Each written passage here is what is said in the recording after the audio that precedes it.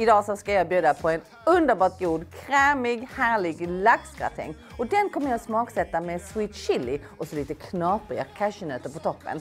Det här är ju en otroligt enkel sås att hälla på laxen. Men väldigt intensiva smaker ändå. Och sen den här krämigheten från crème fraîchen, sötma och lite chili sweet chilin och sen så limen som ger den här härliga syran.